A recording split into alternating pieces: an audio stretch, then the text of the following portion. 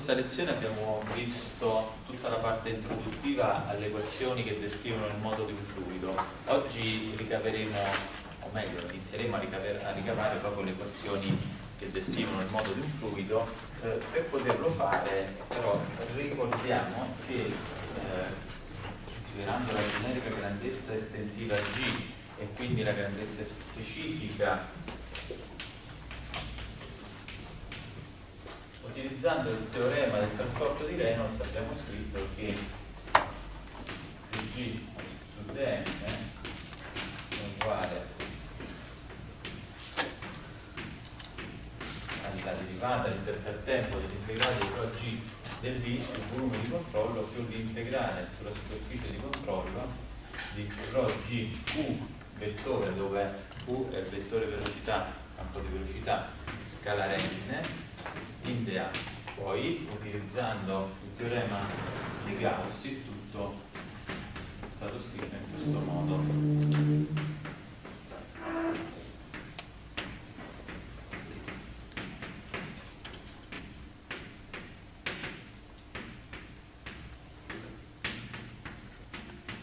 Ok, allora eh, sostanzialmente questa relazione è una relazione che c'è molto utile nel ricavare le equazioni del modo di un fluido perché eh, ovviamente passando da questa relazione a questa utilizzando il teorema di Gauss siamo in grado di riscrivere tutto anche in forma eh, differenziata no? Quando ci riferiamo a un volume infinitesimo e eh, c'è molto utile perché le equazioni del modo di un fluido non sono altro che la scrittura per un elementino fluido delle leggi generali di conservazione della massa.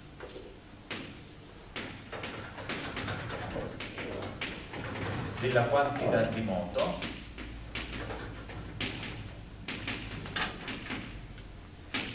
E dell'energia Queste sono leggi generali che quindi valgono indipendentemente dalla sostanza, dal mezzo che analizziamo e queste leggi generali vengono di volta in volta affiancate da leggi particolari che invece descrivono il particolare mezzo in esame.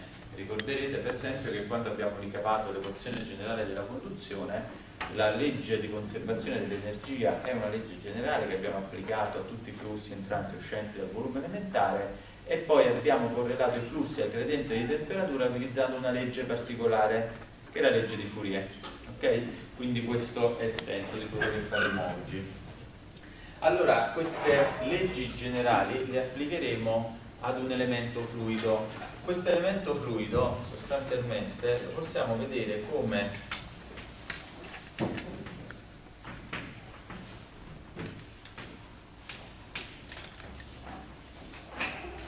cubetto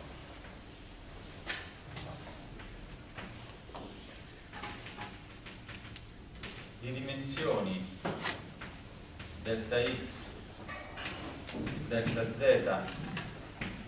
delta y e queste dimensioni sono tali da poter ritenere valida l'ipotesi del continuo. È qualcosa che abbiamo detto la volta scorsa, abbiamo detto che ritenendo valida l'ipotesi del continuo, quindi utilizzando di fatto un approccio macroscopico, noi trascuriamo la natura particellare del, del fluido. Per poter ritenere valida questa ipotesi, la dimensione di questo cubetto elementare deve essere abbastanza grande da appunto poter ritenere trascurabile la natura particellare che significa più grande del cammino libero medio, ricordate? Quindi diciamo che dal punto di vista pratico, per lo studio dell'interesse pratico industriale, questa, la dimensione di questo cubetto potrebbe essere qualcosa dell'ordine del micrometro, va bene? Dice la meno 6 metri. Ora, eh, questo cubetto deve essere contemporaneamente questo elemento fluido, quindi d'ora in poi lo chiameremo elemento fluido, questo elemento fluido deve essere contemporaneamente abbastanza piccolo da poter esprimere le grandezze di interesse sulle diverse facce dell'elementino utilizzando un'espansione in serie di Arrestata al primo ordine. Questa cosa qui ricordo di avervela accennata nella scorsa lezione, però ovviamente non l'abbiamo approfondita, l'abbiamo semplicemente detta e poi, se ricordo bene, vi ho detto che nella lezione successiva avremmo capito meglio che cosa intendevo. Ecco, ora cerchiamo di capire meglio che cosa intendevo nella scorsa lezione. Eh, noi scriveremo queste leggi generali ricorderete che sono, possono essere formulate in, man in, maniera abbastanza semplice utilizzando un approccio lagrangiano perché di fatto sono scritte per una massa assegnata. Ovviamente però servendoci di questi strumenti come il teorema del trasporto di Reynolds riformuleremo queste leggi per, utilizzando di fatto un approccio euleriano quindi per un volume di controllo che è questo qui.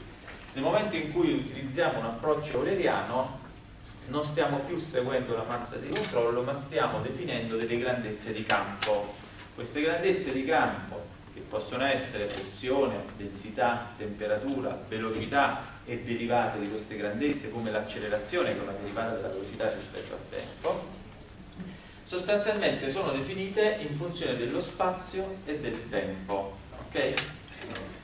benissimo allora, una volta che abbiamo definito l'elementino fluido associamo la generica grandezza di campo al centro dell'elementino fluido. Di coordinate x, y e z. E quindi quando andiamo a studiare il problema secondo un approccio leriano quello che troveremo è una distribuzione per esempio di pressione funzione dello spazio e del tempo di densità funzione dello spazio e del tempo, di velocità, che è una grandezza vettoriale, quindi ha tre componenti, funzione dello spazio e del tempo, e così via, per esempio la temperatura, funzione dello spazio e del tempo.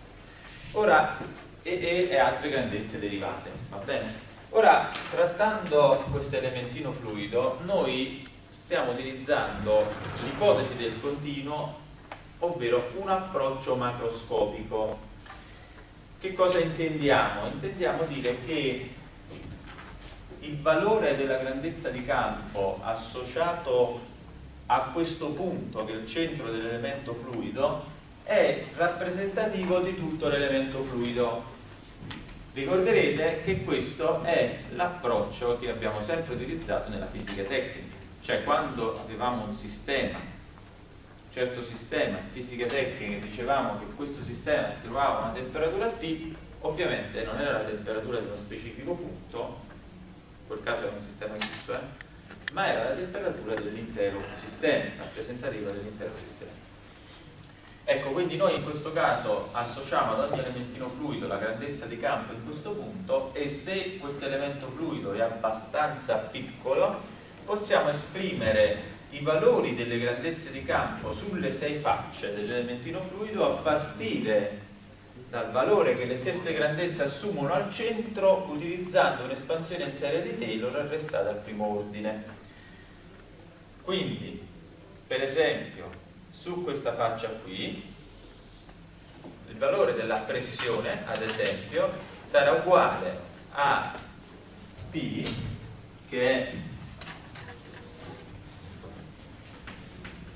funzione di x, y, z e t più dp su dx per delta x mezzi più dei termini che saranno di ordine superiore e che noi evidentemente trascuriamo capite? questo è il tema e questo approccio ovviamente è valido non solo per la pressione che qui abbiamo scritto solamente a titolo d'esempio, ma per tutte le grandezze di campo.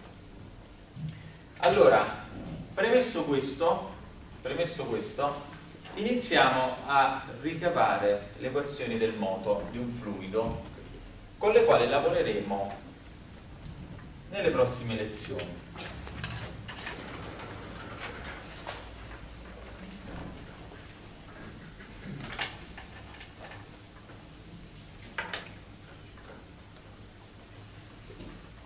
Allora, iniziamo dall'equazione di conservazione della massa.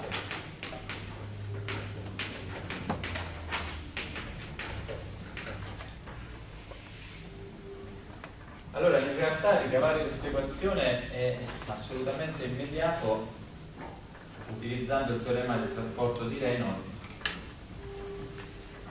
Infatti,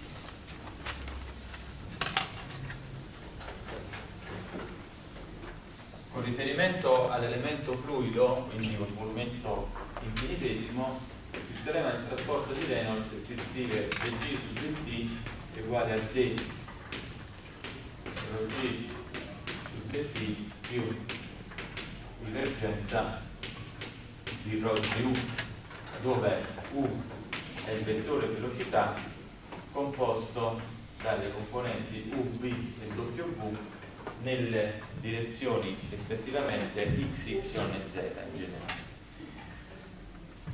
Ora, questo è scritto, ripeto, per la generica grandezza estensiva G. Nel nostro caso, ovviamente, può essere riscritto in maniera immediata per la massa. Allora, per la massa, ovviamente, scriveremo che dm su dt uguale a 0 cioè la derivata sostanziale della massa rispetto al tempo deve essere pari a 0 perché la massa è una grandezza assolutamente conservativa. Questo significa che questo secondo membro lo posso scrivere tenendo conto che g piccolo che è g grande diviso la massa è chiaramente pari a 1 di conseguenza questa scrittura che è diciamo, data da un approccio lagrangiano può essere riscritta utilizzando il teorema appunto del trasporto di Reynolds come per rho su dt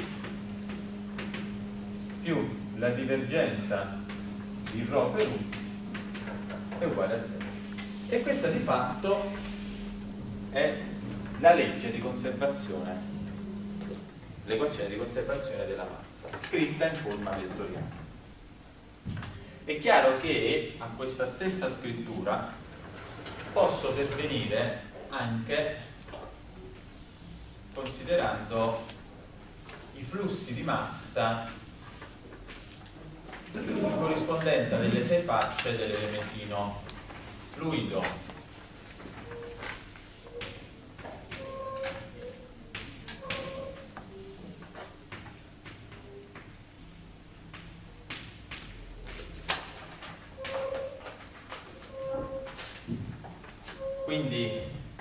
considerare i flussi di massa alle sei facce e scrivendo un bilancio, quindi di massa, il quale può essere scritto come m punto in ingresso uguale m punto in uscita più la variazione della massa la derivata della massa rispetto al tempo, ovviamente nel volume di controllo, ecco, riscrivendo questo bilancio si perviene a questa scrittura che abbiamo già ottenuto direttamente con del trasporto di Enco. Vediamo come è possibile farlo. Iniziamo a considerare il piano XY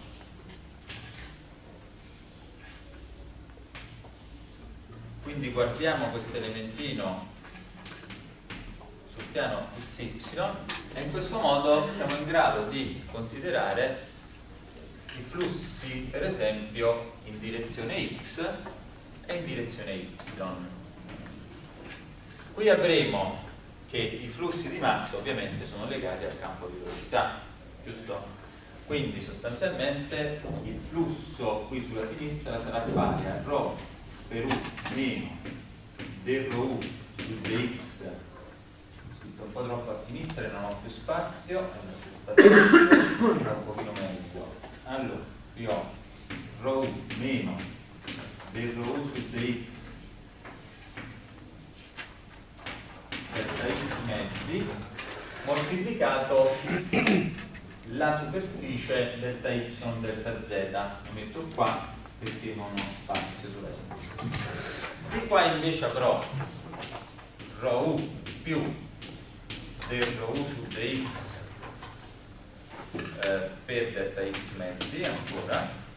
Quindi sto utilizzando un'espansione in serie di Taylor attestata al primo ordine a partire evidentemente dal centro dell'elementino fluido quindi l'intervallo di espansione è delta x mezzi come abbiamo detto prima, per la superficie delta y delta z. Di qua avrò ρ v meno del ρ v su dy per delta y mezzi moltiplica delta x delta z e qui rho v più.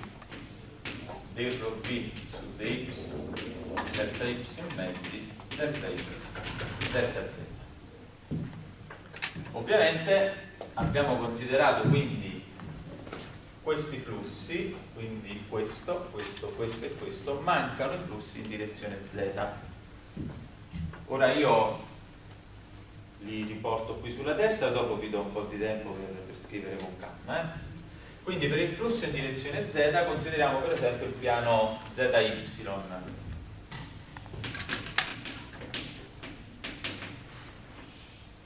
Quindi avremo ancora una volta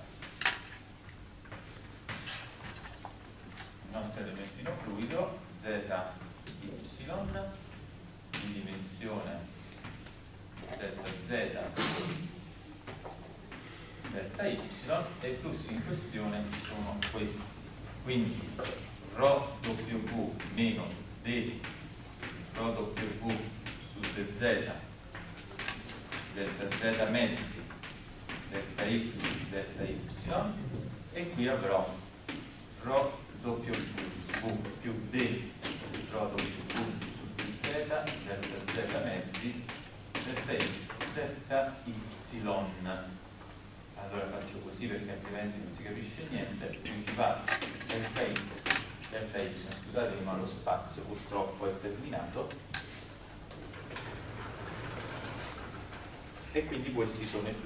massa in questione prendetevi qualche minuto per scrivere con calma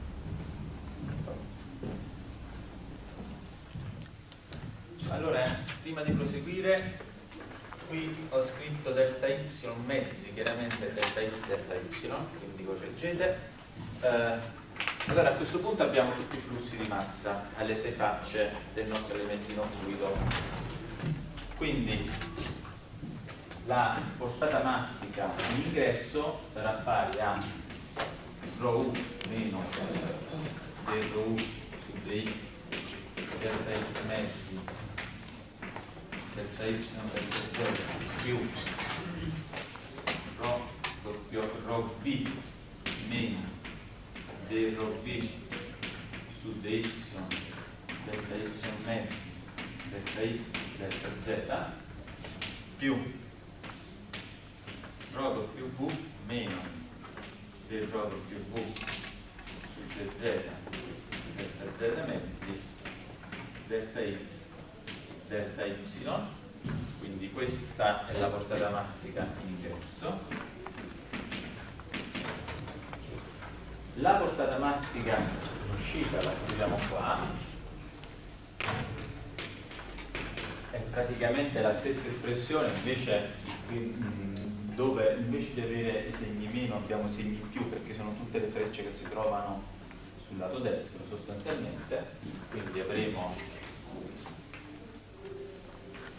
rho più del rho su dx delta x mezzi delta y delta z più rho b più d rho b su dy delta y mezzi delta x delta z più rho doppio v più d rho doppio v su dz delta z mezzi delta x, delta y.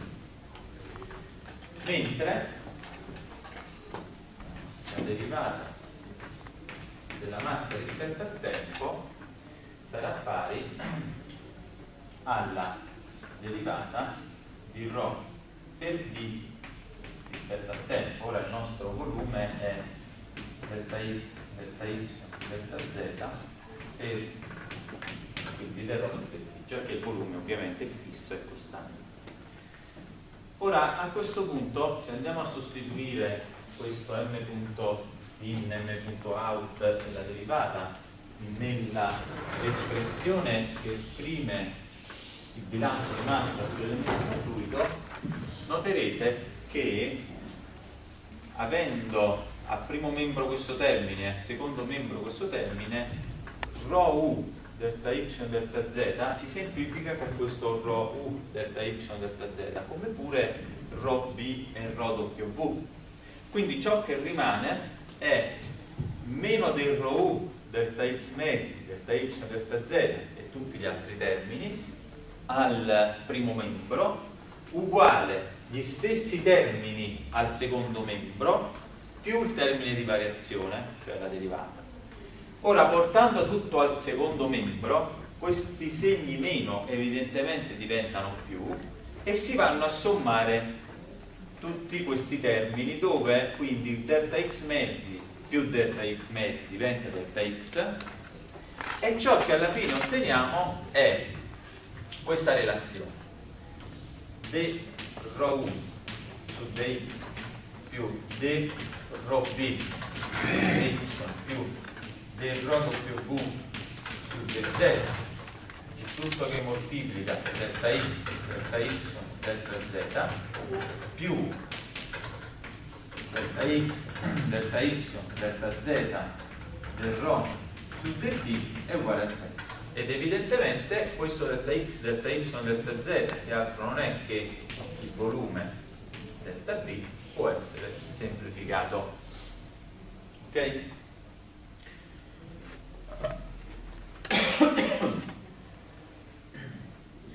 ora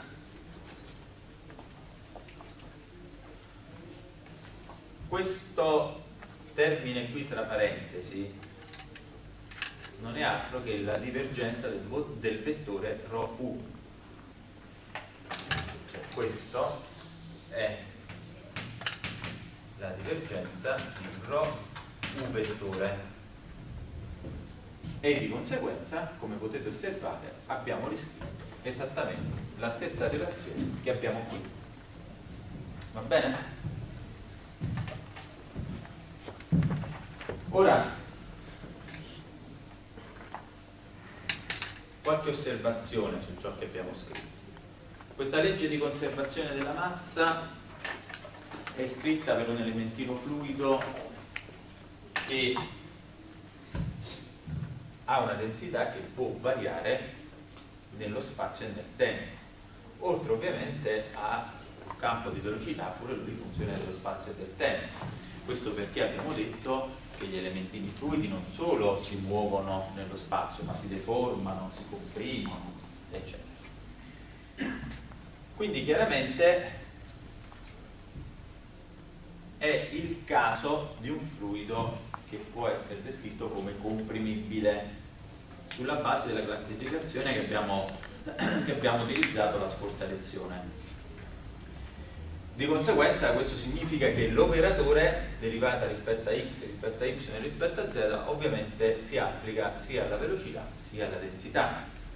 Però la volta scorsa abbiamo anche detto che in molte applicazioni pratiche di interesse ingegneristico si può ritenere che il fluido sia in realtà a comportamento incomprimibile.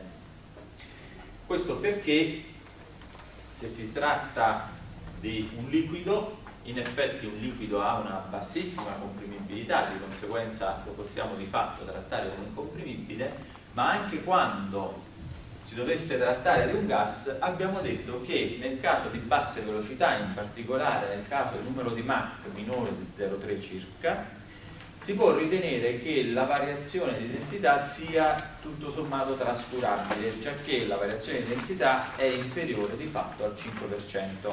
Va bene?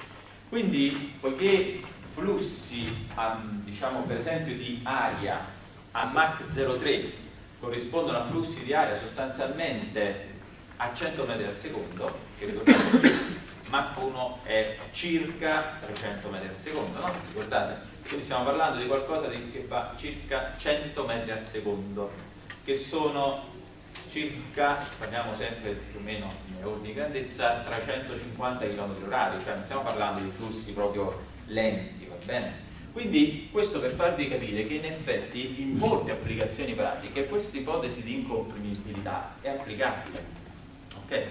E che cosa succede a questa equazione quando parliamo di flussi incomprimibili? Allora, lo vediamo subito e lo scriviamo qui in alto.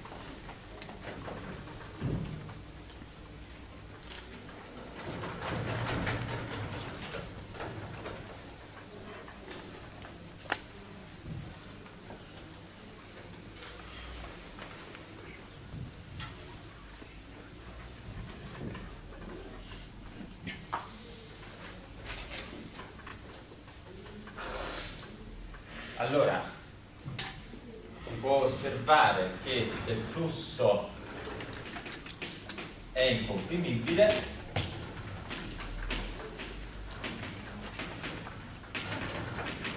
chiaramente ρ è costante, quindi la derivata di ρ rispetto al tempo è pari a 0 e la divergenza di ρu può essere riscritta ovviamente come d rho su dx d rho su d rho w su dz uguale a rho du su dx e b su dy su w su dz più u del rho su dx più b del rho su dy più v del rho su dz e tutto deve essere pari a 0 perché ovviamente rho su è pari a 0 questi termini sono anche loro pari a 0 chiaramente quindi alla fine per un fluido incomprimibile deve valere la relazione divergenza più è pari a 0 che è la legge di conservazione della massa, relazione di conservazione della massa per un fluido, ripeto, a comportamento incomprimibile.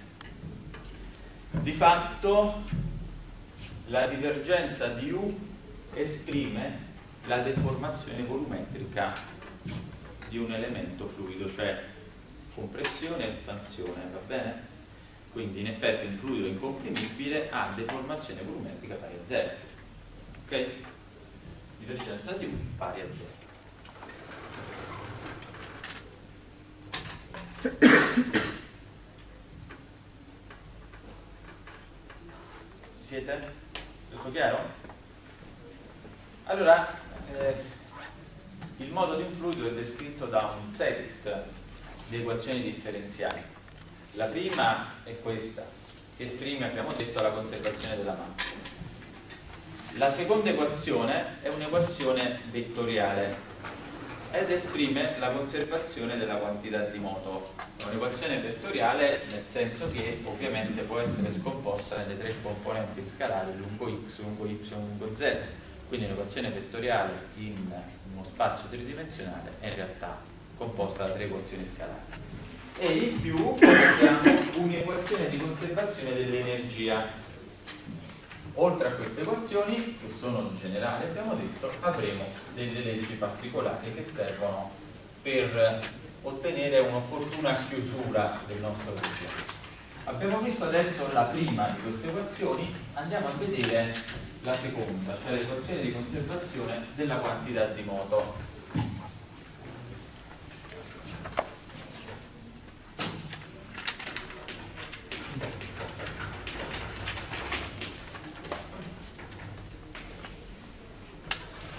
Questa equazione per un elemento fluido deriva dalla scrittura della legge generale che è la seconda legge di Newton, secondo principio della dinamica, cioè forza uguale massa per accelerazione. Ovviamente questa legge esprime uh, l'accelerazione che ci permette di esprimere l'accelerazione che subisce un corpo se è sottoposto a una certa forza F e quello che dice è che l'accelerazione che questo corpo mostrerà è proporzionale alla forza applicata e inversamente proporzionale alla massa del corpo. Ovviamente è una relazione che scriviamo per corpi rigidi no? e ci permette di descrivere poi la traiettoria che questi corpi seguono in seguito a un urto, come abbiamo detto la volta scorsa abbiamo parlato dell'esempio delle palle di biliardo sul tavolo del biliardo e osservando che l'accelerazione è la derivata della velocità rispetto al tempo, questa legge può anche essere scritta in questo modo, dove il prodotto della massa per la velocità è appunto la quantità di moto. Scritta in questo modo, questa legge esprime appunto concetto di conservazione della quantità di moto. Infatti, in un sistema isolato, quindi non soggetto all'azione di forze esterne, la quantità di moto si conserva. E questo è il principio secondo il quale, come abbiamo detto la volta scorsa, quando si spara con un'arma si ha il rinculo, no? Perché la quantità di moto complessiva del sistema arma più proiettile si conserva, va bene? Quando però c'è una variazione di quantità di moto, la velocità di variazione o il ratio di variazione rispetto al tempo è pari alla risultante delle forze esterne. Okay? Ora questa espressione della seconda legge di Newton è particolarmente utile per i fluidi, già che i vari elementi fluidi che si muovono nel modo complessivo del fluido sono continuamente sottoposti all'azione di forze esterne quindi sulle superfici dell'elemento eh, a causa dell'interazione tra un elemento fluido e l'elemento fluido adiacente o a causa per esempio del campo gravitazionale, delle accelerazioni eccetera eccetera. Quindi quello che andremo a formulare per ricavare l'equazione di conservazione della quantità di moto per un fluido è questa legge per un elementino fluido. Va bene? Chiaramente questa derivata che vedete qui è una derivata sostanziale già che la legge forza quale massa dell'accelerazione è formulata con un approccio lagrangiano, giusto? L'abbiamo detto la volta scorsa. Di conseguenza, quello che noi andremo a scrivere è che la derivata della massa della componente U della velocità rispetto al tempo sarà pari alla risultante delle forze esterne un po' x per elementi non fluido, la derivata analogamente mv su dt è pari alla risultante delle forze lungo y e la derivata di mw su dt è pari alla risultante delle forze lungo z. Chiaramente stiamo sempre parlando del nostro elementino fluido come abbiamo già descritto in precedenza e stiamo riferendo a un sistema di riferimento cartesiano tridimensionale, quindi siamo nello spazio tridimensionale, le dimensioni di questo elemento saranno delta z, delta y e delta x, esattamente come abbiamo visto prima, e allora a questo punto iniziamo a guardare nel dettaglio tutti i termini che compaiono in queste equazioni. Iniziamo ad osservare che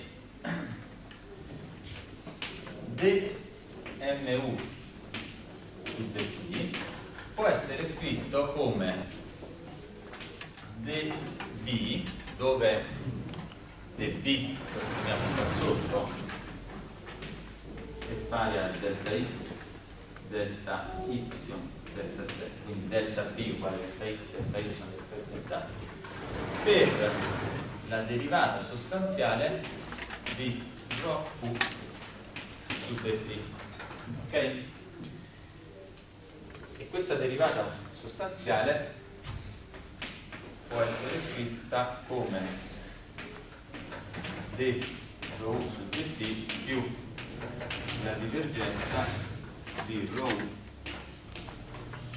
per u in questo modo dove con questo trattino indico il vettore velocità quindi non vi confondete qui ci sono due u spero la cosa non vi crei confusione.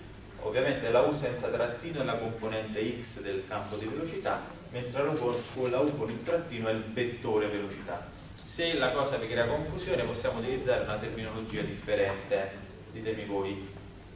Se utilizziamo la V potrebbe confondersi la V grande con il volume ditemi voi se vi crea confusione possiamo procedere in questo modo. Quindi occhio al trattino quindi qui abbiamo la eh, velocità. Ora questo significa scrivere delta V che moltiplica d rho su dt più questo operatore è d rho u quadro dx più d rho uv su dy più d rho u w su dz giusto?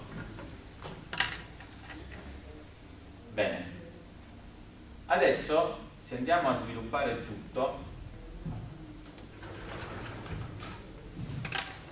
tutto può essere scritto come delta d per ρ che moltiplica du su dt più d quadro su dx più d uv su dy più d uw su dz e questa è la divergenza di u u vettore giusto? Più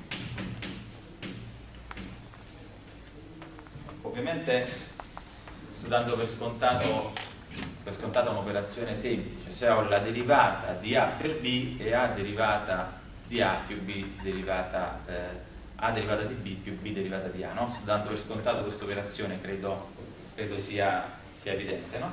Ok, quindi qui abbiamo derivata di ρ u, quindi è ρ derivata di u più u derivata di ρ, va bene? Quindi più e quindi qui abbiamo del ρ su dt più ciò che rimane che di fatto è la divergenza di ρ u vettore volendo essere un pochino più sintetico ma allora questo che cosa ci fa osservare? ci fa osservare che già che questa è la legge di conservazione della massa che quindi deve essere pari a zero chiaramente se vogliamo essere sicuri di rispettare la legge di conservazione della massa quella scrittura è pari a delta B rho du su d va bene? quindi quando andiamo a scrivere il primo membro di queste espressioni qui dmu su dt ovviamente posso riscriverla come delta b del rho u in realtà è delta b rho du su dt va bene? e questo du su dt è in particolare da questa espressione qui che ovviamente è stata ottenuta dall'applicazione del teorema del trasporto di Reynolds Ora, questa cosa qui ovviamente può essere scritta anche per le altre tre componenti dell'equazione vettoriale di conservazione della quantità di moto. Cioè, scrivo velocemente solo la componente lungo y, quindi dnv su dt, alla fine la possiamo scrivere, abbiamo detto come delta b rho dv su dt, che utilizzando il teorema del trasporto di Reynolds è delta B rho dB su dt più la divergenza di B componente y della velocità per vettore velocità e questa è la dnb su dt va bene? in questo modo noi abbiamo il primo membro di quelle tre equazioni scalari ok? avete capito? Chiaramente ognuno di questi termini, DMU su DT, DMV su DT e chiaramente DMW su DT che non ho scritto ma è semplice a questo punto ricavarlo, dovrà essere pari alla risultante delle forze esterne nella direzione x, y e z rispettivamente. Ok? Quindi a questo punto ci dobbiamo porre il problema di riuscire a scrivere questa risultante delle forze esterne. Una volta che avremo fatto questo, potremo dire di aver scritto il principio di conservazione della quantità di moto per l'elemento fluido.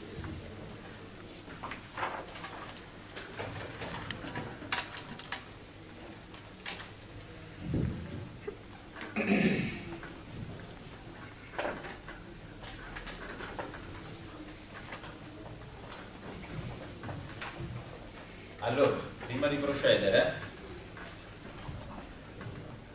sistemiamo qui, che questo è il nostro punto di partenza, e possiamo riscrivere tutto come delta V rho U su dt è uguale alla risultante delle forze esterne lungo x, delta V rho del V su dt uguale alla risultante delle forze esterne lungo y delta V rho dW su dt uguale alla risultante delle forze esterne lungo z.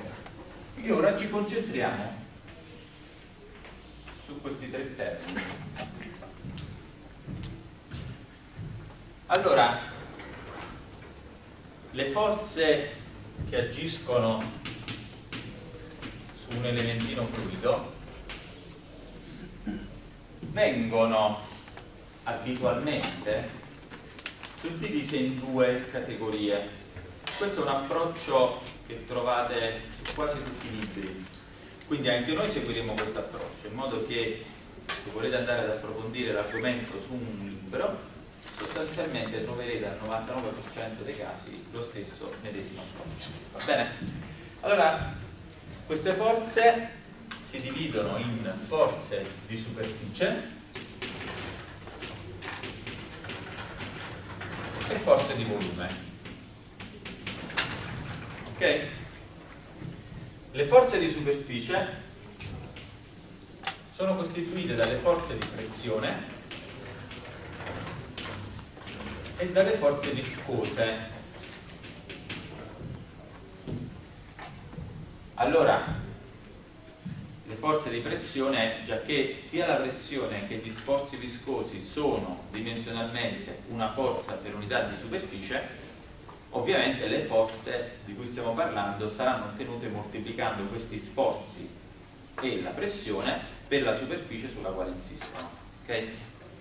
Le forze di volume invece sono dovute per esempio all'accelerazione di gravità accelerazione centrifuga, accelerazione di Coriolis a forze elettromagnetiche e così via.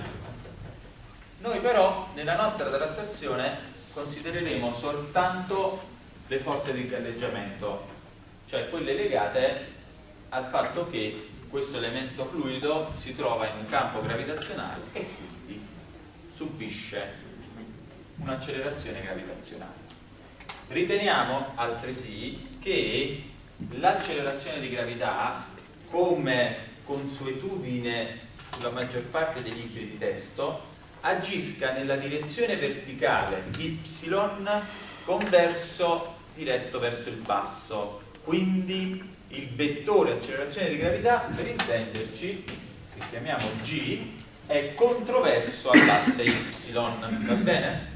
E questa forza è pari ad M per G, quindi meno, la scrivo qua, mg, che voglio dire è pari a meno delta V ρ per G.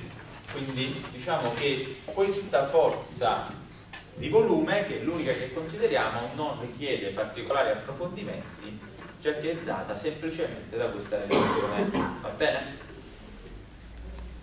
Le forze di superficie invece richiedono un approfondimento direi molto più significativo rispetto a questa forza di volume. E per poter eh, determinare l'azione di queste forze di superficie andiamo a considerare innanzitutto la forza dovuta alla pressione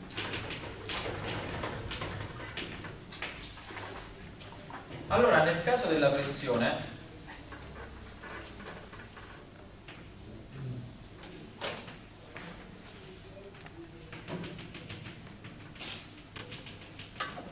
essa sarà sempre un verso che è a comprimere l'elementino fluido ok? di conseguenza avremo queste sei forze sulle sei facce che vanno tutte a comprimere come vedete e che sono P meno del P su dx delta x mezzi e questa è la pressione che agisce sulla faccia di sinistra ottenuta a partire dal valore di pressione associato al centro dell'elemento fluido utilizzando un'espansione in serie di Taylor arrestata al primo ordine come abbiamo detto poco fa è una forza per unità di superficie quindi per ottenere la forza devo moltiplicare per la superficie che è delta y delta z Analogamente sulla destra avrò P più del P su dx delta x mezzi delta y delta z. In direzione verticale invece avrò P meno del P su dy delta y mezzi delta x delta z e P più del t su dx eh, delta y mezzi delta x delta z. Gli ultimi due sono p meno del t su dz delta z mezzi. Delta x delta y e infine questo termine qua che scrivo qua sotto è p più del p su dz delta z mezzi delta x delta y.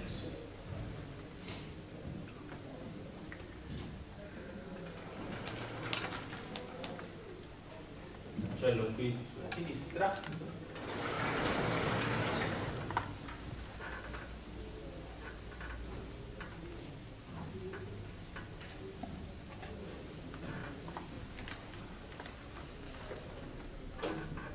Allora, queste forze che ovviamente, questa risultante delle forze che ovviamente è data dalla derivata, allora delta B per ρ della derivata sostanziale del vettore velocità rispetto al tempo, queste forze ovviamente sono una questa forza è una grandezza vettoriale, abbiamo detto. E quindi ha tre componenti, fx, fy, fz e qui avremo fx di superficie più fx di volume. Per quello che abbiamo detto in direzione x non ci sono forze di volume. Fy di superficie più Fy di volume. E questa invece c'è Fz di superficie più Fz di volume. Questa qui non c'è. Le forze di superficie si dividono in forze di superficie dovute a ehm, effetti viscosi facciamo SB più forze di superficie dovute alla pressione. Questa cosa qui.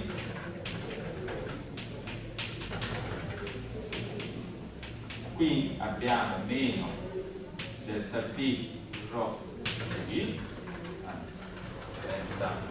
vettore perché l'abbiamo messo già in direzione y qui Fz superficie forze, forze ehm, viscose più Fz superficie pressione. Allora a questo punto avremo che le forze di superficie dovute alla pressione che agiscono in direzione x sono pari.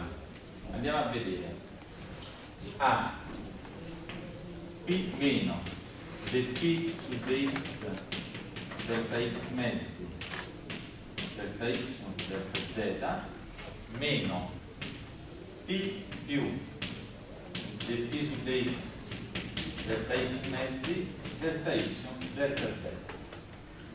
Chiaramente P e P si semplifica questi due termini si sommano c'è un segno meno per cui alla fine viene meno dp su dx delta p.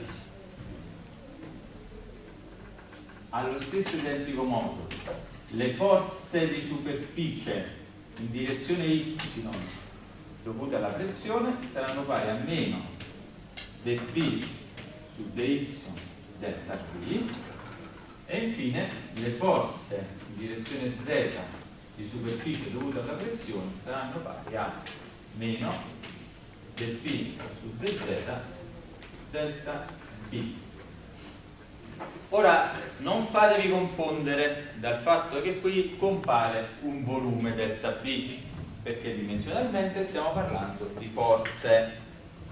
Infatti questa P è una forza per unità di superficie, quindi sono newton su metro quadro, la derivata della pressione rispetto a x, y, z ha le dimensioni di una pressione diviso una lunghezza ovviamente un volume diviso una lunghezza è una superficie quindi alla fine abbiamo una forza per unità di superficie moltiplicata da una superficie che quindi è una forza.